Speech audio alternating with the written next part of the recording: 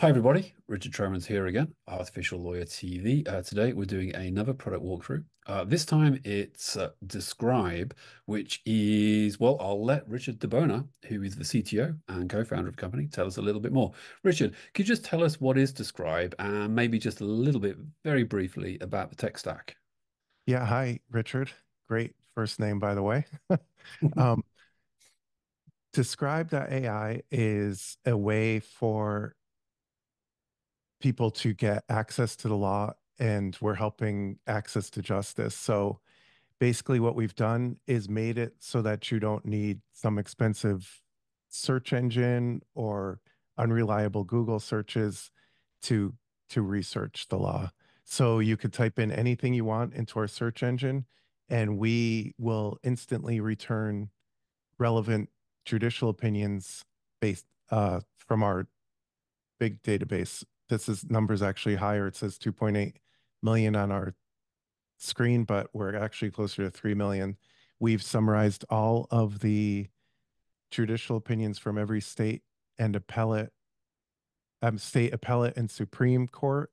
And also we are nearly done with federal district and appellate courts. And we have the complete federal Supreme Court back to like 1760 when it started. Well, so, and, of course, we're, we're, talking about the United States here. United States, sorry, I should clarify. Canada, the UK, etc. Yeah, it's just the United States right now. I mean, um, our technology could be applied to anywhere. So we've been approached by like Australia and Uganda and India, because uh, I guess they're English speaking to look into summarizing their case law, but our to-do list is, you know, an arm's length long. So that might be down the road a bit, but uh, it could be it could be easily applied. Um, and and, and well, I was going to ask you one other question before we go sure. into the actual demo. The, the you're using OpenAI um, as as the you might say the engine behind this. Could you just talk briefly about that? Yeah, sure. So what we did was um, prior to this tool actually um, several years ago, there was no way for people to get at case law. It was all hidden in the, there's a couple big search engines in the US, couple big legal companies that control all the data. And so a few years ago, Harvard, I guess they have like 40,000 uh, law books on their shelves. And they were approached by this startup about getting their case law out into the world. So they undertook this task of uh, scanning all of their all of their um, volumes, and that was called the Case Law Project at Harvard. And it took them a few years, and they got them all scanned. And at the same time that they uh, were working with another company called the Free Law Project, who are out in Oakland. In Oakland, worked with Harvard to take in their their scanned things, but they also wrote all these scrapers for all of the different courts in the country because judicial opinions in the law are supposed to be kind of open source and out there, but they were again the courts made it hard to to look it up. You could see things one at a time, or as you know, Richard, and uh, so these two projects made it possible for tools like ours to exist. So we have a commercial agreement with this company called the Free Law Project, and their product is CourtListener. And we have access to all the judicial opinions in the United States. And so what we did, back to your original question, is about 15 months ago, we started summarizing all of the judicial opinions using OpenAI. Back then it was called DaVinci like tur- the Turbo 3.0 and 3.5 didn't even exist. So it was super expensive and small context windows and all that type of uh, stuff.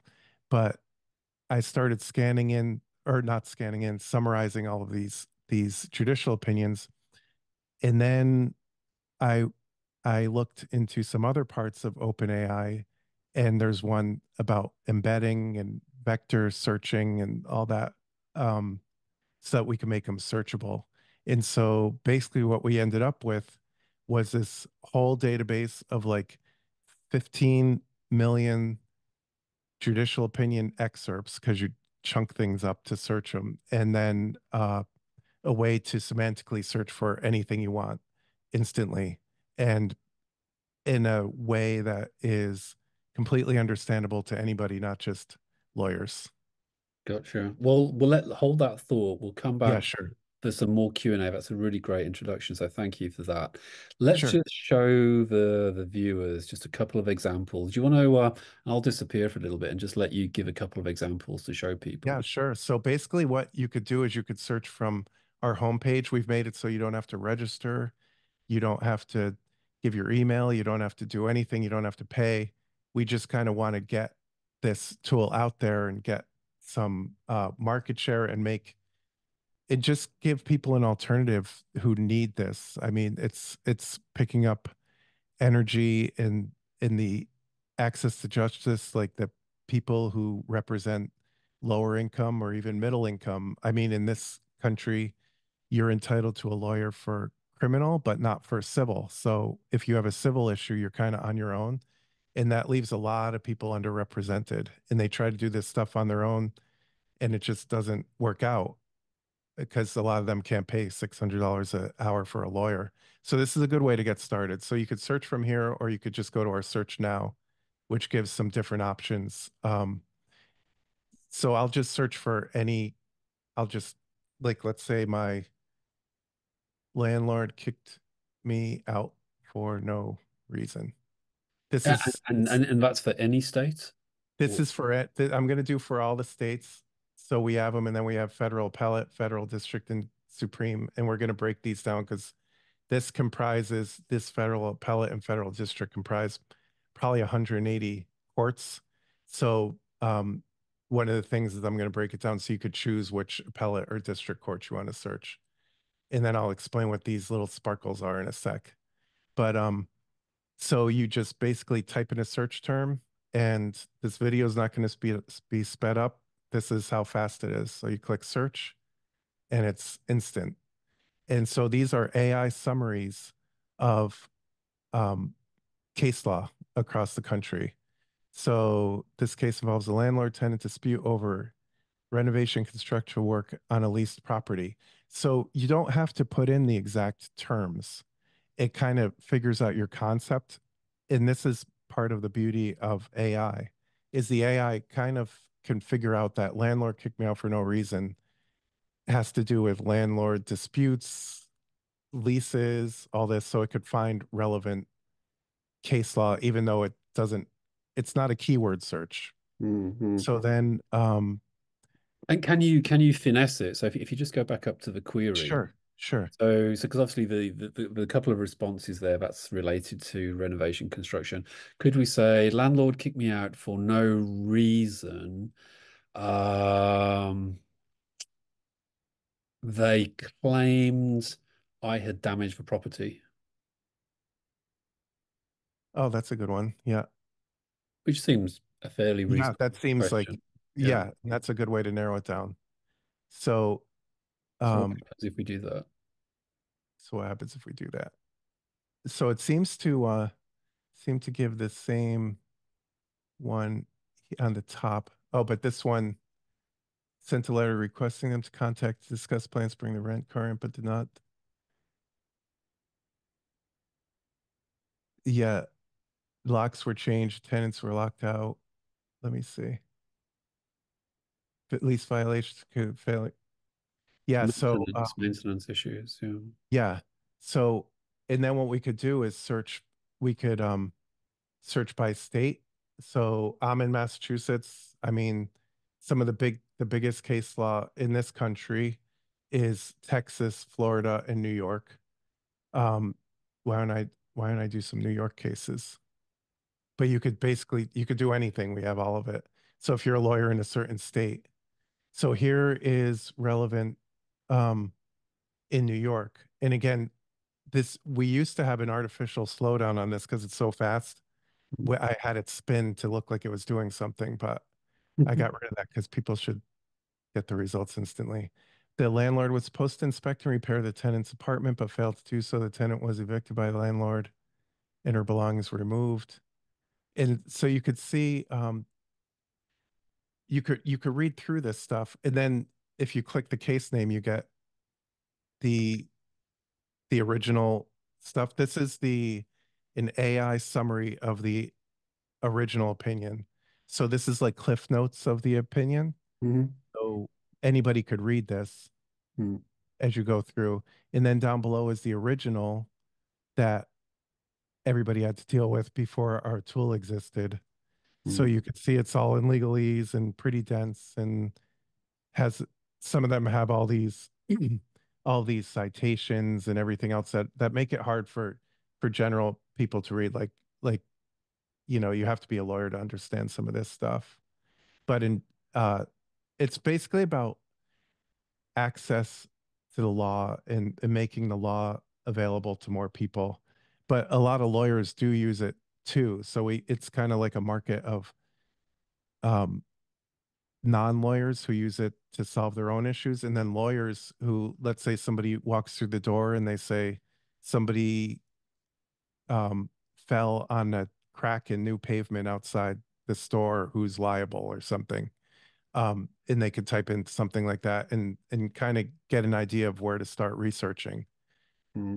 um and then back to these sparkles i'll i'll i'll do a different search so because we maybe we're getting sick of landlords. You could also search in other languages. You could put in any language you want up here and it it does results in english but that's the beauty of the ai also is that it could understand languages.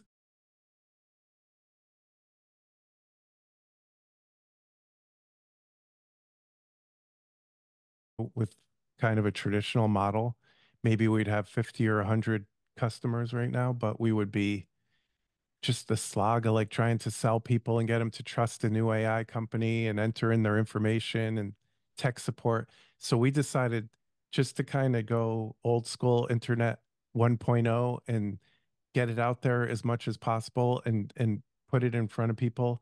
And then we have some ideas for things like we're we're working on like a citation checker. You've you've seen about those lawyers who submit briefs that are completely with made up cases. Mhm. So we have something in the works where you can run your brief through our tool and it'll not only tell you if it's a real citation, but it'll give you a summary of the of the cases you cited to see like this is real and this is relevant. So you could kind of take care of some of that.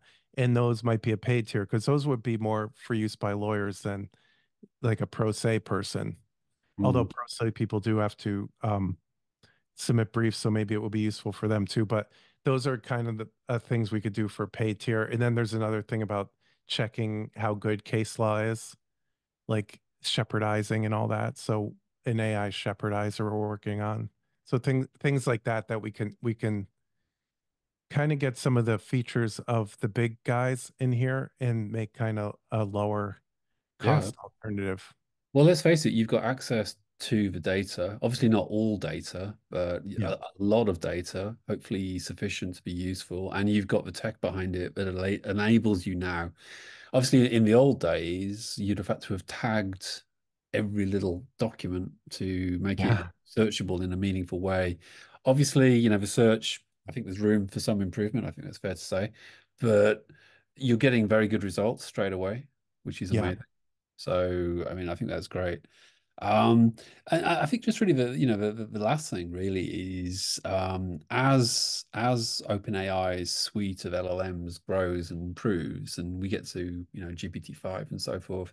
I mean, do you do you see this just becoming really, you know, a, a even better tool? Yeah, I mean that's when we could do some of this stuff of like going in and telling we we did some oh the dog's like scratching a pillow. We did some um these the abstracts that we talked about. That's some um Turbo 3.5 level analysis of cases where you tell it how to go in and analyze. But then once GPT-4 gets a little cheaper, we have some things that we want to do where to have it go in and actually deeply analyze a case as a whole and and tell us more about it and tell us about um, references to other cases and and and do things that had to be done manually for years. Mm. Fascinating, fascinating. Well, I'm sure that Thomson Reuters and LexisNexis are uh, going to be wondering. uh, well, the because it, it's I, I literally did a one very similar to this last week, but in the UK. Um, as a guy um, who has a company called Case Snappy. Uh, check it out. It's on Artificial Lawyer. You might find it interesting. You guys maybe should join up. You you have a lot a lot of interesting uh, synergies, perhaps. Uh, but it's been a real pleasure. Uh, it's really interesting. That's all we've got time for now. But I'll just say thank you very much, Richard, and uh, and good luck. Yeah, thank you so much.